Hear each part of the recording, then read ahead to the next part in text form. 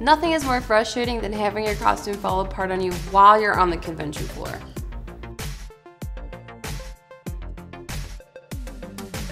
Today we're going to show you how to attach this woven nylon to some L200 foam using Cosbond Attach and Build's double-sided adhesive sheets and Reinforcer single-sided sheets.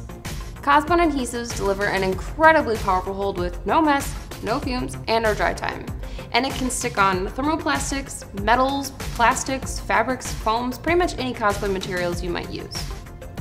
First, we're going to make sure our foam is sanded and smooth.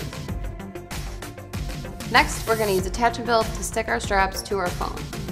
We simply cut it to the size we need, peel it, stick it to our nylon strap, then peel the release paper and stick our strap to our foam. I like to use at least 3 inches of strap just in case. Now that we have our strap adhered to our foam, we're going to make sure it doesn't go anywhere by going over it with Cosbond's Reinforcer.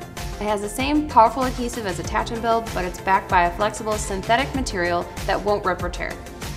Cut enough reinforcer to completely cover the strap with at least 1 inch extra or more on each side.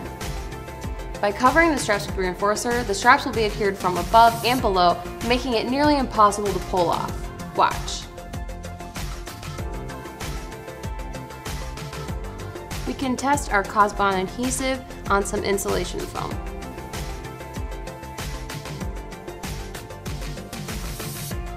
For elastic straps, sew your elastic to your nylon and then attach the nylon to your material in the same way.